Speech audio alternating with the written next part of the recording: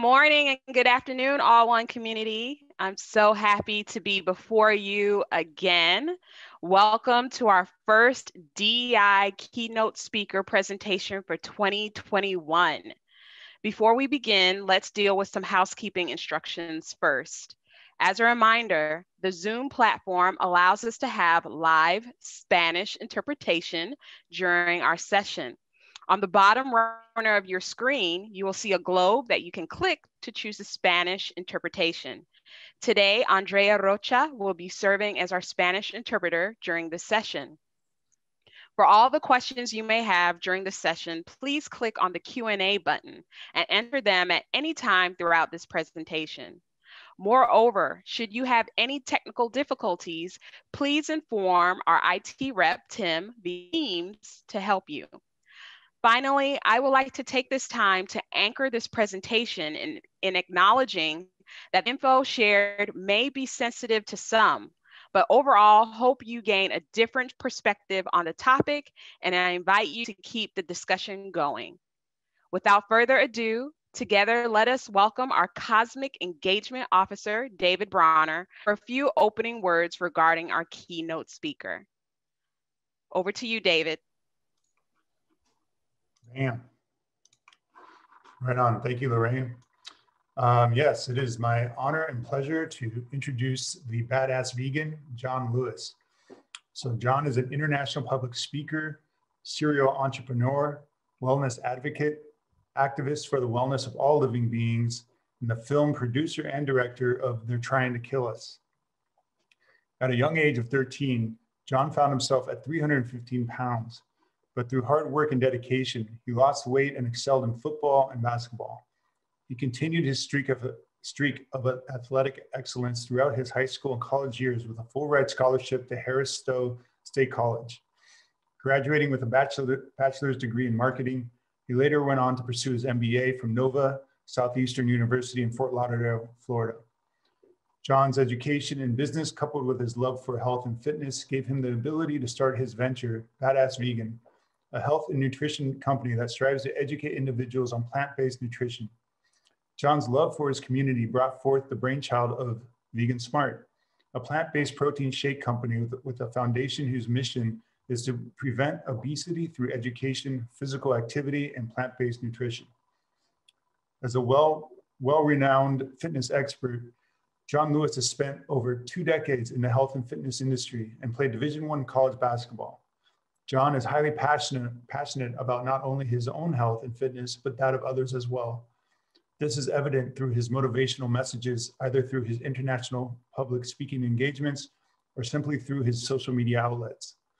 Today, John has taken his passion for health and is now directing his first feature-length documentary focused on food and social justice. John has teamed up with the maker of the, of the award-winning What the Health to create their joint venture, They're Trying to Kill Us. All right, without further ado, John, take it away. Bam. Hello, everybody. Uh, thank you so much, Dave, for that amazing intro, uh, as well as Ray. Hope everybody's doing well. Thank you all for being here. Um, I just wanted to take a little time to introduce myself uh, in regards. Uh, my name is John Lewis, as he stated, stated before. Uh, I was born in Little Rock, Arkansas, raised in St. Louis, Missouri, now living in Miami. Uh, funny story is I wasn't always vegan. I wasn't raised vegan. In fact, my family owns the number one barbecue restaurant in all of uh, Tennessee and Arkansas, believe it or not. So they think I'm crazy, just so you know that. Um, but uh, I was raised there, raised in Ferguson, Missouri, as many people have heard about Ferguson through the unfortunate incident that happened to Mike Brown uh, Jr. Uh, in fact, you know, that was a, a, main purpose of creating the film that I have right now. Mike Brown was actually um, Mike Brown Sr. was actually one of the first interviews I have in the film that you'll see in the film itself, and uh, was raised there. Uh, not the worst of upbringings, but it was pretty tough. Um, graduated high school, went to play college ball at Harris Stowe State College, like as he said. Then I ended up going to uh, grad school down in Miami, and uh, from there is when I actually uh, start to really focus on being an entrepreneur. But along the way, along my last week of graduate school, is when I got a call from my brother who told me that something was wrong with my mom and we didn't know what was going on. Now, mind you, I am, you know, 6,000 miles away down in Miami. And so this is hard news to take, especially in my last week of graduate school. Um, and I ended up talking to my mom on the phone that day. And I always tell people how I'm a happy go lucky guy. I'm always smiling, always trying to make other people happy around me. But at that moment, that was the first time I ever heard my mom like not in a good place. And when I asked her what was wrong, she said, son, I feel like crap. I don't know what's going on. And she didn't use the word crap. She used something very strong. And so uh, I ended up talking to the doctors and I asked them, you know, how did this happen? Like, you know, what's going on? They told me too much fried fatty food and uh, too much animal protein. And I immediately, you know, responded with, this isn't hereditary. And that's when the doctor was like, no, this is a lifestyle choice. And it really stuck out to me. And I didn't go vegan immediately, but the more research I did, I did get to see that, you know, this ingestion of this animal protein wasn't just the causes of the likes of just colon cancer, but also, you know, hypertension, heart disease, stroke, type 2 diabetes. The list goes on and on. And I'm a big believer of learning from my mistakes, but I'm a bigger believer of learning from other people's mistakes. So if my mom is already going through this, there's no need for me to follow her down this path. You know, if somebody tries to run through this bookcase behind me, and they don't make it through, I'm not going to try to prove them wrong and, and try to run through the bookcase myself. I'm going to show them there's another way around that. And that's the route I took with that. So um, at that moment, uh, I ended up going vegan and it's been around 15 years now. And uh, I am happy and healthy and, and I, I have no medications. I have a lot of people in my family that have suffered from type 2 diabetes. I'm talking about everything from leg amputations um, to strokes to the colon cancer, of course, to you name it. Our family's had so many ailments, and you know, for for me not to have to, you know, go down that road, I'm not saying it was the easiest choice in the beginning, but it I knew that it would they would pay off, and um, uh, glad to say that you know I'll be 44 next week, and I feel amazing. And I, am my goal with everything that I do within the vegan community is to promote um, you know, happiness, health, and empowerment, empowering people to see that they can take control of their own health. I think a lot of times we find that when we get sick, uh, it's just supposed to happen. Now, there are cases where it is unavoidable, but there are cases when a lot of times it's our lifestyle that is leading us down a certain path. And I'd like for our lifestyles to lead us down a, a totally enlightened path full of health, full of wealth, and full of happiness. And um, so that doing that message, I averaged before the pandemic, I averaged around 100,000 sky miles talking all across the globe. Um, and kind of the movie kind of led to that, like, how can I reach more people in a positive way? And that's what led us to uh, doing this film.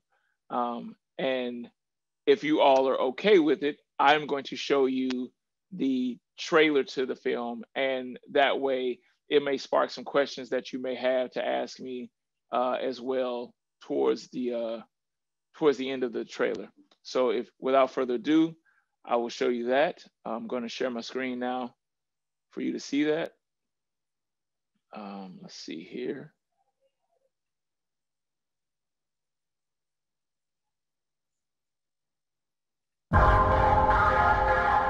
So this is the neighborhood I grew up in, right in Ferguson. A friend of mine was actually shot in his driveway, right there. You put drugs in the communities, put guns in the communities, you put disease in the communities, put poor food in the communities. All these things are designed to shorten your life expectancy. It's by design. It is not accidental that this is what's in the hood and this is what's over there. There's actually an active hand in making sure that we living like this. It's all about control, money, and survival to them. Your death is not an expense to them, it's an expense to you. They're trying to make money from us, even if it's at the expense of killing us. You just die slow. Your family just watches you die. The alcohol industry fast food industries, tobacco industries target communities of color. Your health is not their main priority. They're trying to keep you sick. We are in a state of emergency when it comes to our health. Keeping people sick is very lucrative. Now you want pills. Now you want dialysis. Now you want medicine. You going to the hospital on a regular to see your doctor. Everybody's getting paid except you. Big pharma and pharmaceutical companies are making billions of dollars off of all of us. As long as they can make that dollar, they don't care if you live or die. It's something about being here that's making black people sick. Everybody's getting paid except you. You hurt. There are more dangerous and harmful chemicals in products made for women of color. It absolutely is a crisis. They don't make a dime if you're healthy. It's kind of like the dope game. It is the dope game. It's just a bigger gangster, the mob boss look at the hidden hand, you see that government is feeding the crisis. We're fed wrong knowledge, socked all the wrong food. It's about money over people's health.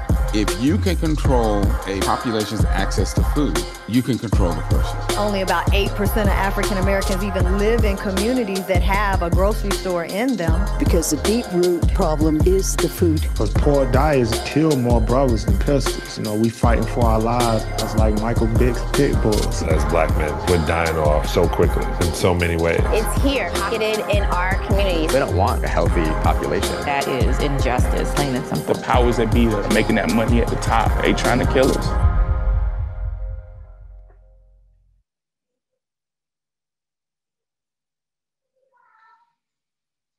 All right. So that right there is the trailer to my upcoming documentary. As uh, as David uh, said before, it is uh, the follow-up film to uh, What the Health. If anybody has seen What the Health, um, our main goal is diving into social justice as well as food justice. And um, you know, a lot of people I've gotten this question before uh, in regards to, oh, you went vegan, so you don't care about humans anymore. And it's like, no, actually, um, that's a big part of the reason why I am still vegan to this day.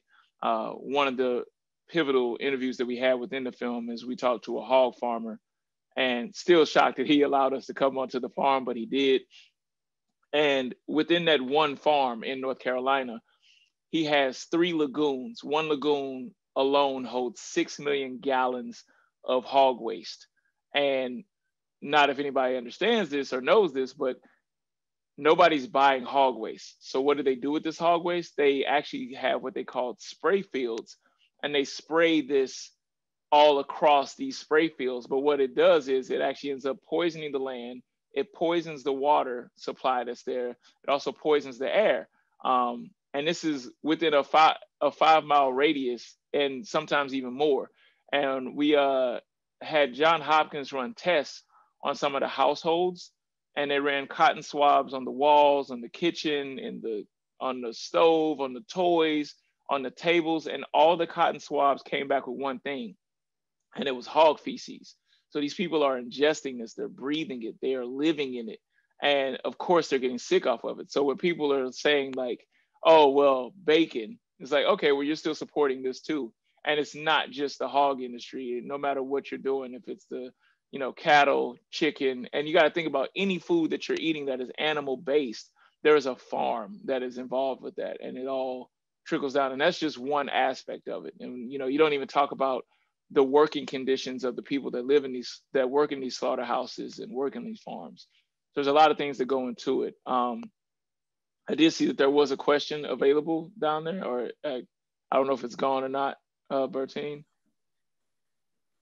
Hey hey john thank you so much. What an amazing clip it really, really makes us want to rush out and see the movie. But I do understand it's not quite out yet. Can you let us know when we might expect to see it in theaters or on Netflix or uh, be able to maybe show it on site at our headquarters? Uh, right now, fortunately and, and happily, we are actually going to shop the film around starting next week to all the networks. So uh, really happy about that. Uh, as of as of what streaming service we'll end up on, we don't know yet. Um, we are working with a team to uh, basically talk to all of them and see which uh, platform is the best option for us. Our main goal really is is the reach. Um, is to make sure that it reaches the the most amount of people. Um, and there are some networks that are higher up with that, you know, than than others. But we're whoever puts the effort in to market it to the most amount of people and get it in front of the most people. That's that's most likely where we'll be at. Thank you, John.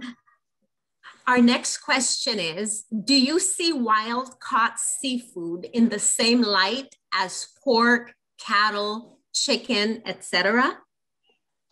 Yes, I actually do, and uh, that's a question I get a lot. One of my one of my answers to that is, and uh, thank you for the question, whoever it is, is that nobody that I know would walk up to any stream, ocean, river, creek, pond, whatever, and drink the water out of there.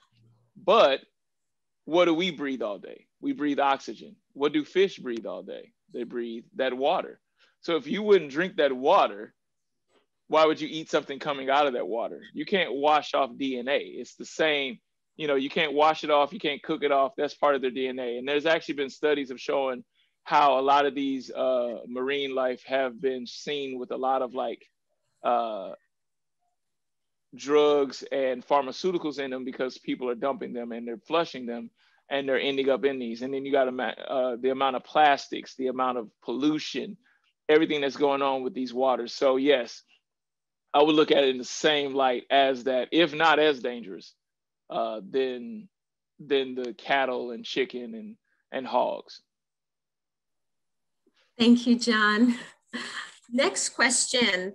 Um, could you tell us uh, a little bit more about food access versus food deserts?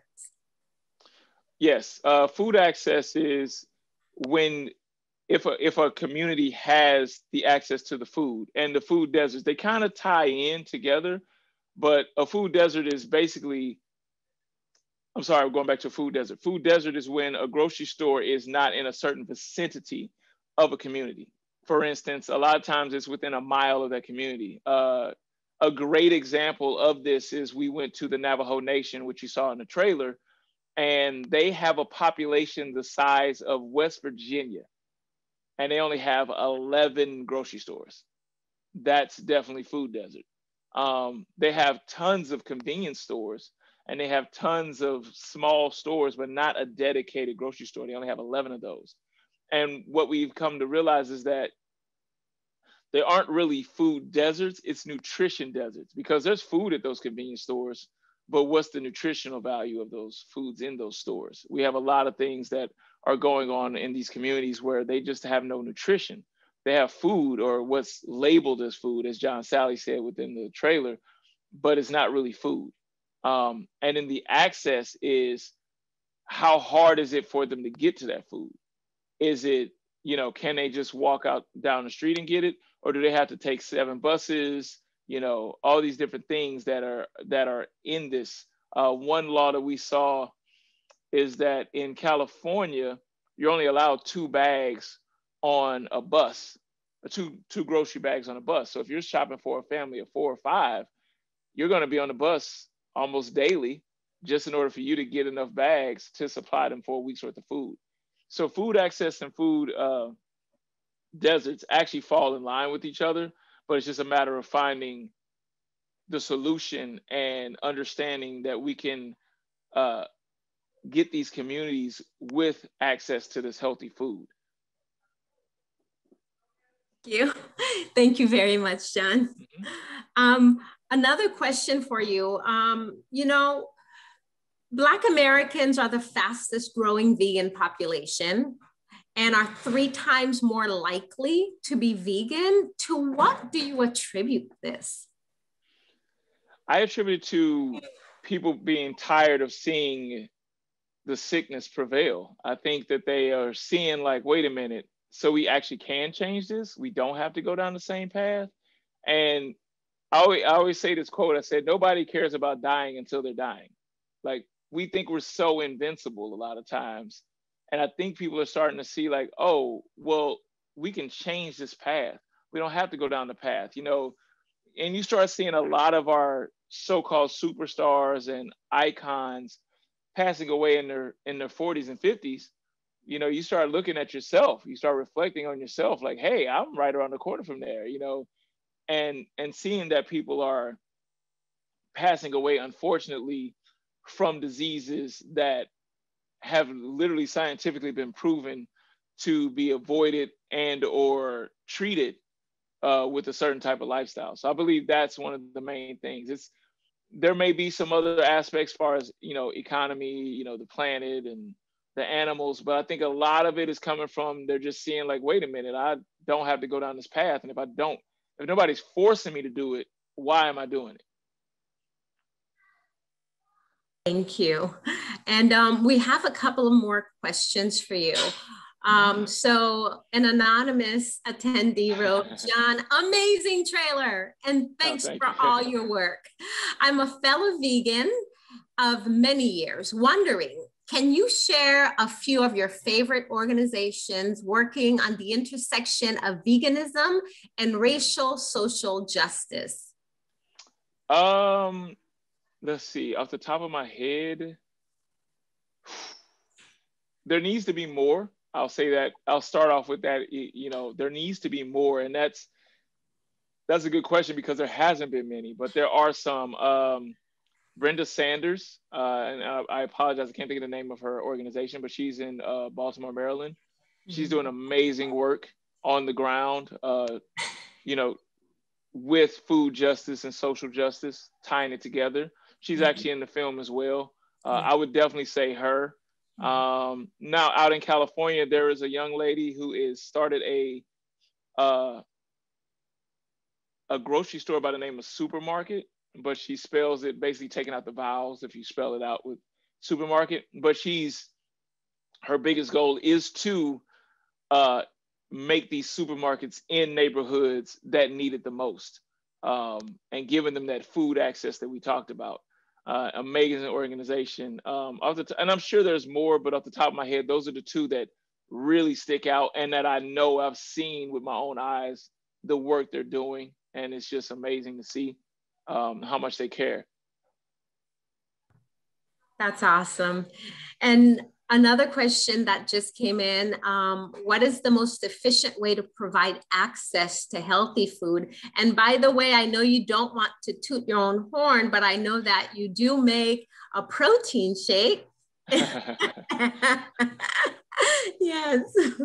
Um, yes. Uh, so that that was actually one of the that was that sparked the brainchild of making the protein shake, which I'm actually in the in the in the works of actually creating a whole line of badass vegan uh, uh, shakes and supplements. Still teaming up with my with my team, but we just we see that there's a bigger goal right now, and um, that was one of the main things. Is just that you know if we could provide something that provides all the macronutrients that somebody needs for a uh, for a great meal, and it's not you know eighty dollars a jar. Like you know we have organic, we have non-GMO but I just believe that you know, it, you can help people and still not rob them at the same time.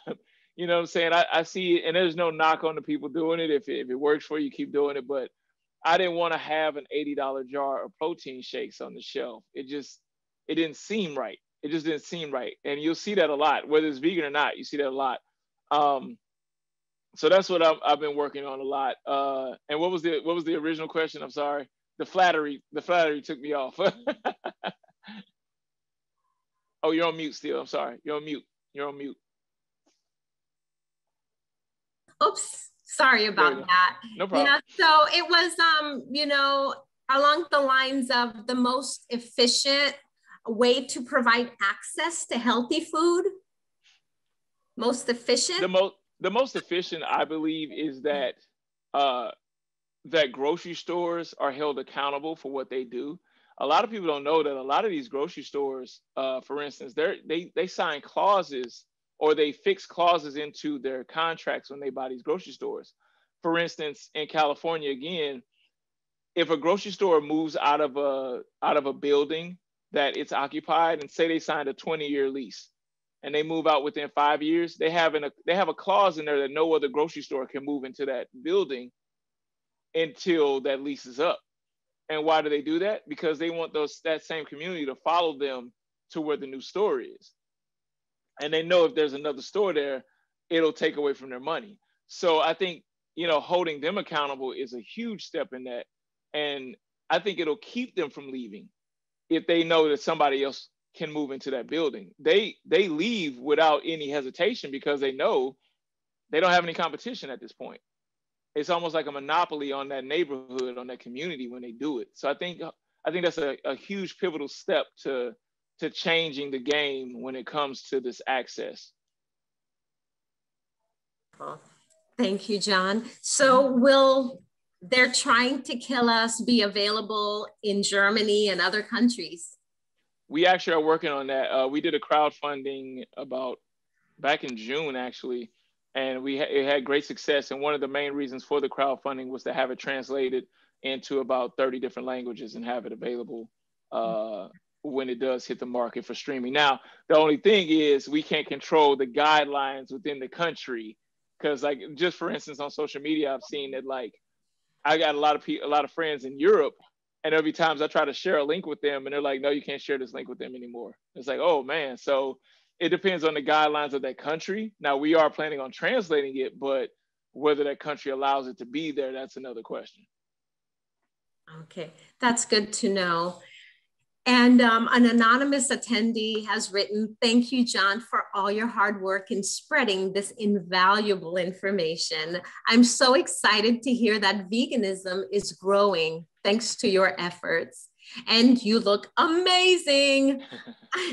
I'm wondering how people in these sorely undeserved communities are able to get vegan food if they are located in food deserts. Are there organizations trying to bring in healthy food into these communities? Yes, there are. Um, there are quite a few organizations. One amazing organization is uh, Support and Feed, which is ran by Maggie uh, Maggie Baird, who is uh, Billie Eilish's mom. They've been doing a lot of major work in delivering food to underserved communities. But one thing that we're starting to see, and this is one thing where a lot of these people are changing to the vegan lifestyle, is that people are starting to realize that vegan food is actually a little bit more accessible than what we've been taught. Um, for instance, rice and beans, you know, you might not want to eat it every day, but it is available right next to you. And I think we have become spoiled in a lot of ways to the point where we act like we can't eat the same thing every day. We can't uh, we can't you know incorporate the same food every day. But if you think about it, before the industrialization of the world, if you grew up next to a mango tree, what did you eat every day? You ate mangoes. So we have to kind of get back to that too. And you know, a lot of people think that veganism is expensive. In reality, veganism is not expensive. It's the products within veganism that is expensive. If you're buying the food and preparing the food yourself, uh, one of the things, one of the major things in the book that I'm writing right now is meal prepping and understanding that like you can change your meals up, but change them up per week. What happens is a lot of times people want to eat a different thing every day. And now you think about the cost of that as opposed to the time of that. Now you've taken so much time to prepare these meals and you spend so much money. If you can meal prep eating the same thing for six days out of the week. You know, seventh day you eat whatever you want, whatever the case is. But if you're able to time that down and eat that, let's say you eat beans and rice. a good friend of mine, uh, her name is Ch- uh, Chef Charity Morgan. She was in the Game Changers movie. If anybody's seen that, um, she has a great uh, aspect to it. She says, "What I do is for my family and my kids, I'll cook the rice and beans and I'll have the salad, but I make five different sauces for the week. So now every day is a different sauce. They're eating the same damn thing, but they're getting. she said they eat the same thing, but they're like, "Wow, the green sauce today. Ooh, the the red sauce. Oh my gosh!" So it's it's ways to do that, save money, save time, and still be able to be you know healthy at the same time. What a great idea. I'm going to try that. so, so this next question, do you make vegan soul food? If so, What's your favorite recipe? Ooh, I I do. Uh, I I don't do it too often because I you know I know me. I have an addictive personality, as I talked about before. I was once 315 pounds, so if I ate soul food every day, I'd I'd be right up there. But there are ways. Uh, mac and cheese is one of my favorites. Uh, I still make vegan mac and cheese. Um, I'll make like a vegan pulled pork, uh, which is made out of jackfruit. If anybody's never had it, it's it'll shock you. It'll, it'll literally you'll think it's pork. I don't know how nature did this, but it provided us with a, a way to do that. And um, and one of my favorites, and it's not necessarily on the savory tip, but more of a sweet tooth tip because I do have a sweet tooth, and that is a pecan pie, and that is like a a vegan pecan pie that is just it's crazy. And uh, my mom, when I wasn't vegan, she had she makes this gooey butter cheesecake, which is amazing. And we and her and I, which my mom is not vegan by the way, but she still works with me uh, we've tried to master the vegan version, and we got pretty close. But uh, that's one thing I'm trying to master right now is with that. Yeah. Sounds delicious. And for everybody who's joined us, um, Kimmy made the most delicious pecan sandies. Uh, please go to our All One Lounge and pick one up. They are vegan, they are gluten free, they are delicious. So, in honor of this presentation and Black History Month, so enjoy yourself. Yes. And um, the next one poverty is a deterrent for potential vegans where in low income neighborhoods. Healthier foods and vegetables are more expensive than meat and animal products. How do we tackle the growing problem of food inequality? Thank you, Nicole. Thank you for that question, Nicole. One of the greatest ways, and a lot of people don't like to talk about this, is our votes. Um, there's two ways you there's two ways you vote. You vote at ballots, and you yeah. vote with your dollars. You know, one one example I always say is that you know stores are going to hold and provide what people buy. They might not care about your health, they don't care about your family's health, but they do care about their money. So if nobody is buying the junk in these stores, they're going to stop providing the junk. Um, and then when you go back to the actual voting at the ballots, it comes down to voting for legislation and people in these offices that are going to uphold healthy living. You know, we also got to understand that the reason why this meat and dairy is so cheap is because it's subsidized. It's subsidized so heavily that if you took all the actual costs of making a burger, a Big Mac would be around $11. But since it's subsidized and it's got government help, that's why it's able to be so cheap. And then in your head, you're like, well, why would I go buy this this fruit, which really is only probably a dollar more than this burger? But this burger has been marketed and promoted to me as the best thing ever invented. So that's why we have to get these people in office that are going to stop providing money to that to those industries and start providing money to healthier options. Once we get there, you will see the tables turn and we'll, we'll be uh, we'll be able to afford it a whole lot better.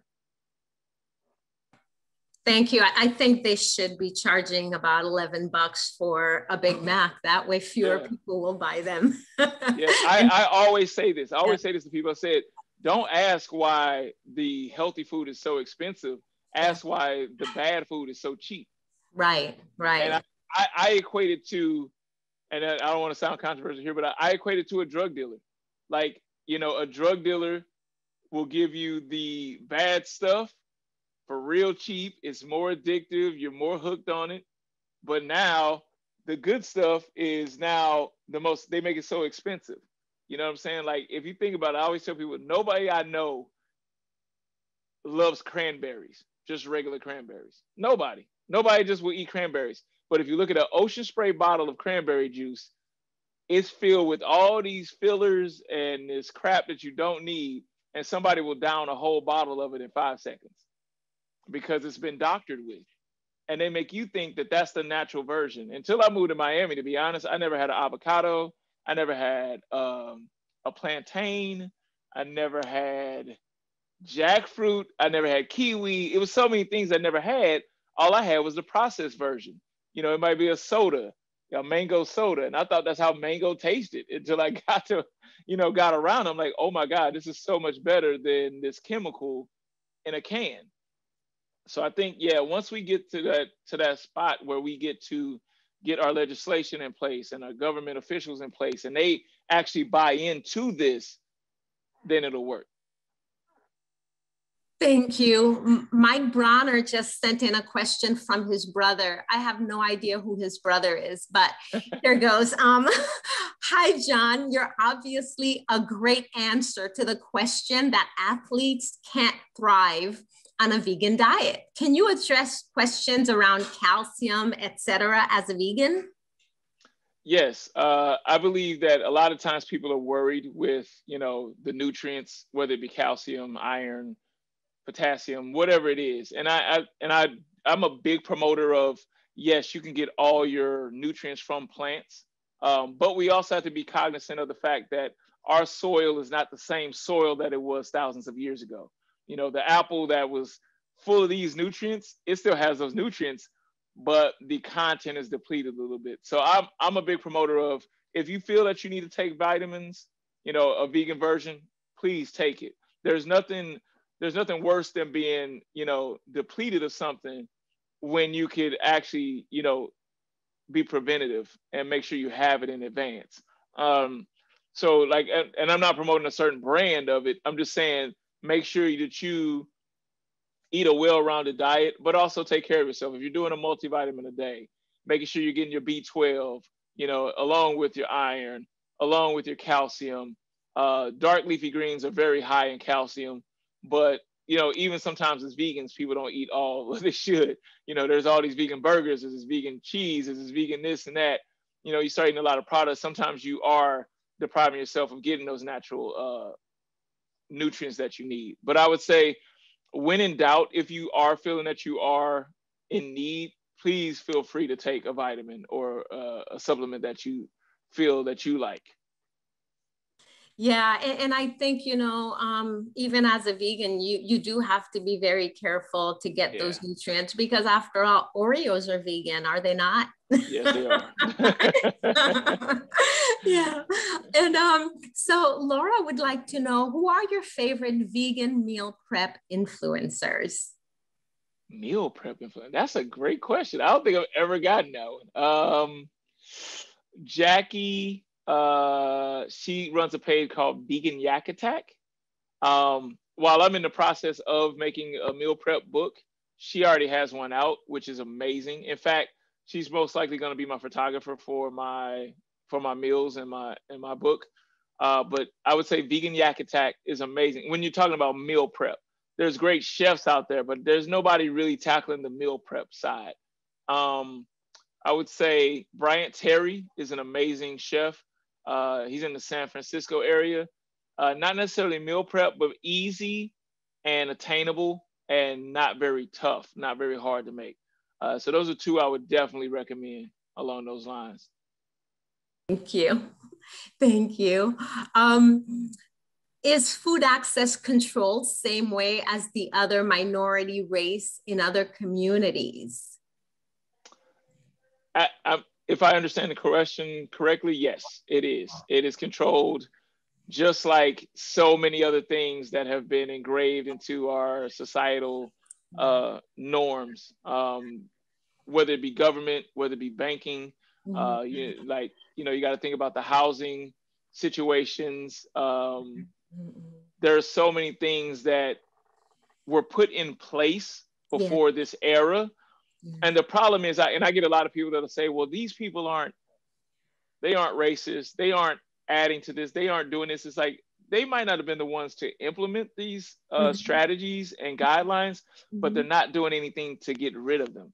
So that's just as bad. And so there are so many things out there. I just I just posted a case where um, it's not necessarily food, but it just shows the systematic uh, racism that are available. And there was a, a family who had their house appraised. And when they had their house appraised, they, it was appraised under value, they thought. So they finally got the bank to reappraise it. And when they had the appraiser come back out, it was a different appraiser, but same bank. They had their white friend put all pictures of her family in the house and took out all their pictures. It was appraised for 500,000 more than the first appraisal. and that's just one example. And there's examples across the board. You know, uh, you know, there used to be uh, red zoning where you couldn't buy a house in a certain neighborhood if you were black. Mm-hmm. They wouldn't allow it, even if you made the money.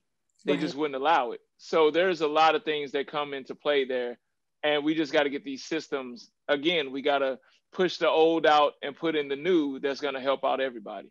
Mm-hmm, mm-hmm. Yes, I agree. Thank you, John. Um, can you give an example of a successful community-based program that has helped increase fresh food access? If you have seen that, you have seen that may inspire others. One you thought was a successful mode. I think I better read that again. I, I, fumbled it again. I kind of got it. I kind of got it. you got it. You got it. Okay. Yeah, yeah, yeah. yeah. Uh, An example of a successful community-based program. Yes. I would have to go back to Brenda Sanders again. She's just she's been in the community for so long, and she's, I mean, she's just doing wonders in Baltimore. I mean, to the point where everybody's not vegan in that community, but they support her because they understand the work she's putting in for that community, what she's trying to do, and and, and I don't even want to say try because she's doing it, and, you know, making it a healthier community, and she's very well versed in all of the legalities, the government, everything. She knows everything going on in that community, and she's bringing that fresh fruit, uh, actually providing jobs for people in the community too. Um, you know, I, I believe that the community center that she started and ran is actually developing its own vegan products and the people from the community work in the in the uh, building to make the products. So she's incorporating that as well as providing meals as well as bringing fresh fruits and vegetables to the community. It's it's really a wonder to see. It's it's tireless job and probably a thankless job really but she's doing amazing work out there. Uh, brenda brenda sanders is her name Brenda, Brenda Sanders. Brenda Sanders, yeah. Brenda Sanders, thank you. Yeah. Sorry, my country accent kicks in every now and then. I have to. oh, thank you. And my Haitian accent. There you go. There you go. I appreciate your work so much from an anonymous attendee Thank you for sharing this wisdom. It is my hope that people can move to growing their own foods and eating locally to reduce trash and enhance the nutrient content of the food that people are ingesting. We put so much into shipping oils and flours when we have acorns all over the US. Wow. Mm-hmm. That's that's that's really cool. Um, Great point. What do you have to say to that, John? I, I say they're right on point with that because I, I always tell people all the time when people are like, oh, we got to stop eating processed. I'm like, well, you realize that mango you just had was processed. It just came from Costa Rica. You know, like in order for it to get to you, it wasn't just they didn't just pick it, put it in the box, and it's there. Like there's a process that goes with that.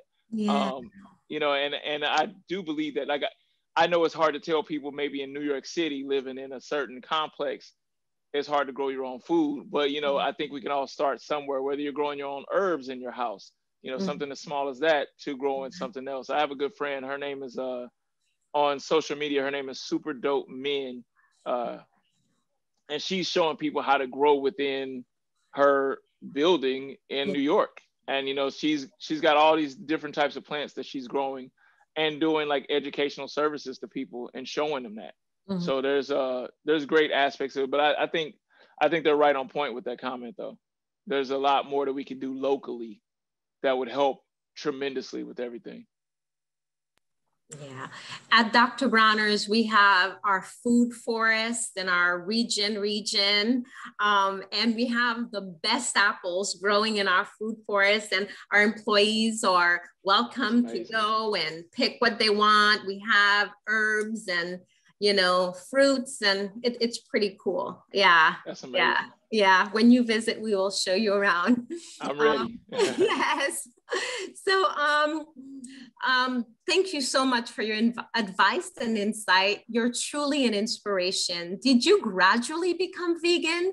Some people become vegan overnight, feel lousy, then go back to eating meat. What is your recommendation? My recommendation is overnight. Um, I I did go vegetarian at first, and once I went vegan, I really realized I wasted two years of vegetarian. to be honest, um, and I think there's like this fear of like, oh, well, I gotta have this cheese and this and that, and it's it's basically addiction uh, at the end of the day. And I, I believe that a lot of people don't realize like you know we're addicted to a lot of things. Food is one of the things we do. Like i always say the government gets a lot of things wrong but the one thing they got right was when they called it the fda because food is the most addictive thing we'll ever put in our body. And until you realize that you're an addict of something you can't heal from it. If you in denial that you're an alcoholic how can you ever heal yourself from the alcohol? And sometimes we are food addicts. Um, and that that whole aspect of people feeling bad is that's basically cold turkey from an addiction. Uh, whether you've been doing something 5, 10, 20, 40 years, good or bad, if you stop drinking water tomorrow and you've been drinking water for 40 years, your body's gonna be like, wait a minute, what's going on? So the same thing with the bad stuff. If you've been, you know, eating meat and dairy and processed foods for however long and you cut it out, your body is gonna be looking for that constantly. But if you stick through it, you're gonna survive. Like nobody's ever died of eating healthy. Like nobody, nobody was like, oh, well, they started eating healthy and they they died. Like I, the name of my speeches used to be called "Vegans Aren't Filling Up Hospitals," because I used to tell people like nobody got rushed in for a heart attack, and the doctor's like, well, what happened? It's like, oh no, he had an orange today and his heart exploded, and we don't know what to do. Like, no, that's not the case. So if you stick it out while it can be tough, and I know people feel like, oh man, I felt like I was gonna pass out and die, like that's not gonna happen. In fact, one of the greatest things about eating less processed, more whole foods is that you can actually consume more without the negative benefits. So a lot of times we don't realize is that our body digests plant plants faster than it does animal uh, food. So with that being the case, your body burns it, expels what it doesn't need, and it's ready again to be replenished. Mm-hmm. But we're so used to the animal aspect where we eat once and then it sticks to us, mm-hmm. which we're not designed to have food stick to us really. Mm-hmm. That's not our that's not our digestive system and that's not the way we're designed. Yeah, it's interesting so, you say that because some people will say, I just can't get full. Like, you know, I, I don't have yeah. that feeling of you know satisfaction unless right. i have a steak unless yeah. i have chicken you know? Exactly. so, yeah i hear that classic classic addict uh quotes actually. I can't i don't feel the same unless i have this one drug. It's the same same aspect. Yeah yeah. And and i know you have two kids. So the next question is um what is a good way to get my kids and husband on a more vegan lifestyle. What do you do at home with your kids? Well, I'm very fortunate that my kids have been vegan since birth, so they kind of don't have a choice. But I've also dealing with clients throughout the years. Um, one thing that I've always done, and it, it's been proven to work, is that sometimes we have to remember that we're the parents, and we're not we're not always the best friend. We're not always going to be the savior in their eyes, like we're still their savior, but we're not gonna get that award or that trophy for best parent of the year. We have to do something, and, and we have to understand that if we know in our heart that something is wrong for them, and we continue to do it, what does that make us? So I think a lot of times I get parents, and I and I have to speak to them that way because if we understand that something is bad for us, if I know that I let my kid walk down those steps, he falls every time I let him walk down the steps Am I going to keep letting them walk down the steps? No. So it's the same thing. Am I going to keep feeding them that food? And I think also as a parent, um, we have to understand that we don't have to tell our kids everything. If you give them vegan food, just put the food on the table. You don't have to say, I think that's one of the biggest mistakes. People like, hey kids, we got vegan food. Automatically, they're like, oh man, I'm not eating this. But if I'm eating it and they're eating it, they don't care. They're they're just like, oh, I'm eating what my dad and my mom is eating. They don't mm-hmm. care. Um, as far as the husband, I, I, I don't want to get too controversial. so I always say, hey, if if you're cooking vegan food and they want something else, let them cook something else. If they want it, let them cook it. And and and you have to be you have to be heartfelt with it and tell them like, hey, honey, I know you like this, but deep down in my heart, I can't I can't do that anymore. If you want it, that's all for you, but I can't cook this anymore. And if mm-hmm. you start cooking, and not saying you're not cooking good food right now, but if you start cooking like real tasty, great food that fills them up, it's hard for them to question mm-hmm. that. You know what I'm saying? But I, I think it's it's a lot of aspects to it, but you know, letting them know that that's not me anymore. And I, I understand if you want to still eat that. But as far as the kids go, you know, until a kid shows up at a grocery store line and pays for the food, you're the one buying the food. They're gonna eat what you make. right. I'm the parent. I'm the parent. and so, um, Stacy wants to know what do you think is an effective way to inspire meat lovers to at least reduce their meat and dairy intake? I believe, and this is, I've said this countless of times, uh, I believe that we have to be the example of what we're trying to get people to see. Mm-hmm. A lot of times we'll go to somebody like, no, you can be healthy and you can be, you know, this stress free and this and that. And then the person that's telling them is the unhealthy, stressed out person yeah. tell them they need to go vegan. It's like, no, if you're going to tell people that, be that example. Right. And I, I believe that goes beyond measures of how effective it is because people, you know, people send people my page or send people, you know, Torre Washington's page or my friend Doms Thompson or Johnny Juicer. They send us, they send people our pages and they're like, nah, that's a mythical creature. We don't know them. They're lying. They're not vegan. They did this, they did that. But when they know you personally and you're the one that's reaching out to them, they're going to listen to you. If they, and a lot of times you don't have to say anything.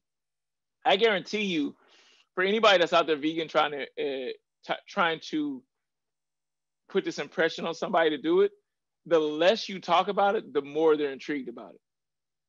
That's one thing I've learned over the years. The less I, the more I just started to shut up and start living my life. People like, man, you still doing that vegan thing? Now you open up the door. Now they want to listen more.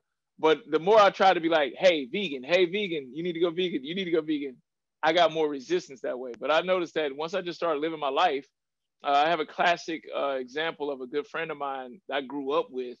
We were at another friend's wedding in a, as an in adulthood, and she was so she'd be one of the main people on my post, you know, laughing at me being vegan. Oh, you're crazy.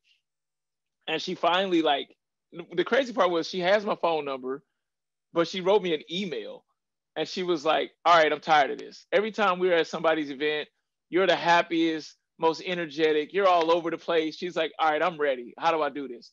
And it's been six years now she's been vegan.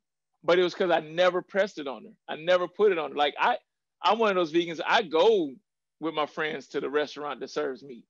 I want to show them, oh, hey, what's your chef special? Can you tell the chef to make me anything that's vegan?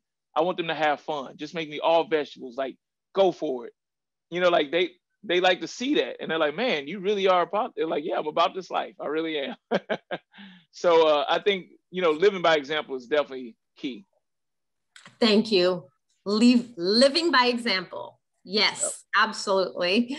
Um, and Emily says, so inspired by your journey and the messaging you're spreading. How can we support you and your mission? Oh, thank you. Um, I, I think it's just word of mouth. I think, you know, word of mouth is amazing. And I think sometimes we forget about how important and vital it is to, you know, what people are doing on their mission, whether it's me or anybody else. Like sometimes it's not a financial thing. It's just like, you know, let people know about the work that this person's doing if you really believe mm-hmm. in them. Like, for instance, today, like I, I probably name dropped 20 names already, you know, just because I, I believe in you gotta, you gotta up these people. You got to lift them to this platform so people can mm-hmm. see them. Uh, but I appreciate that, and I, I think that's the biggest thing is just word of mouth. Mm-hmm, mm-hmm. Thank you. And an anonymous attendee writes When writing about veganism, I've often taken the stance that food is a form of activism and that we should all choose meals that mitigate climate change or reduce animal suffering. However, because systemic racism affects who has access to what, is it misguided or even elitist to say that everyone should be looking at their meals as a form of activism? I don't believe so. Um, I believe I believe it's more racist to say don't worry about your health, just keep eating what what's bad. And I'm, I'm not saying that this person's saying that, but I think that's more along the lines of not caring for the person. Um, it can seem elitist because we've grown to this place in life where we believe that I can just do me and I can eat whatever I want and nobody has to pay the price. But in regardless, I I mean on the other side, as I always say, but what about the other side? What about your health? What about the end of the day? You know, so many people are about this YOLO life now. You only live once and all of this. I'm like, yeah, everybody, nobody cares about dying until it's time to die.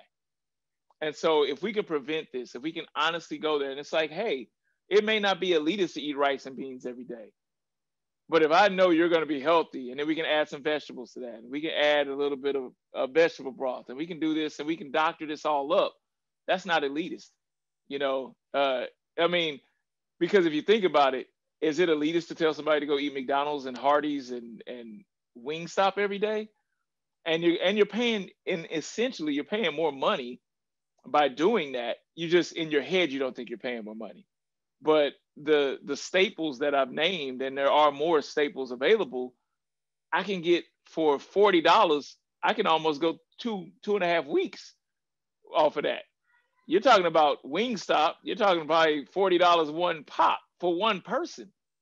So I think that's where we got to kind of take a step back and and understand that some feelings might get hurt, but some lives will be saved.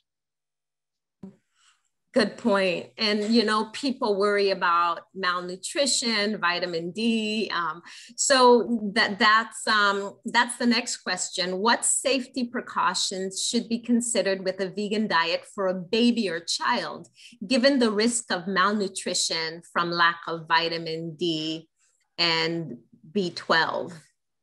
My kids are since birth, and uh, I think it's a lot of myth involved in that Mm-hmm. Um, whether it's uh, breastfeeding, there actually are vegan formulas out there for children if, if, a, if a woman isn't breastfeeding. Um, and they still eat food, they just don't eat the meat and dairy. Uh, my my son, which I mean, it's kind of my fault because of my DNA, but my son won't be three until June, and he's already three foot four and 42 pounds. So not malnutritioned. Uh, and he's i mean he's solid. It's not like he's like overweight or anything like that. It's just but as a vegan child he's on the mark. He's over the 100 percentile for everything. So I, I think sometimes we're just so we're so worried about traditions and the norm that we forget reality. And the reality is the nutrients are there available for us for the children for the adults but we just have to not be so engraved into the old norm and understand that you know a, a, mother a mother for the most part there are some extreme cases but a mother for the most part will provide the nutrients needed through the breast milk. Um, you know it's been scientifically proven that uh, a mother's breast milk will actually adapt to what the child is lacking in and provide that through the through the lactation process. So you know Mother Nature is an amazing thing, and sometimes somehow we got to this point where we're like, no, Mother Nature don't know what it's doing. We got to give it this cow's milk. It's like, no, why would you give them the milk of a creature that grows to be two thousand pounds almost mm-hmm. into a human body whose natural state roughly won't even be over 200 pounds mostly you know what i'm saying like and then a calf grows into a cow within 12 months it takes us almost 18 years to get to our full size. So we're throwing a concentrated version of a larger being into a smaller being that takes longer, and we wonder why we have complications. Well put. Mother Nature knows best. so, John, I love the great mantras on your social media site. So, please bless us with some some words of encouragement as we go through this journey. I think the the biggest the biggest mantra and the biggest takeaway is empowerment and love of self. Um, I think a lot of times there are so many factors against us in this world. Uh, no matter what your race is, to be honest with that, there's so many factors against this world that make us that teach us self hate mm-hmm. that we don't even realize when we're hating ourselves a lot of times. You know, that food that we eat, sometimes it's because of stress. Sometimes it's because we're mad about a situation and we don't know how to, we don't have a proper outlet we result to food.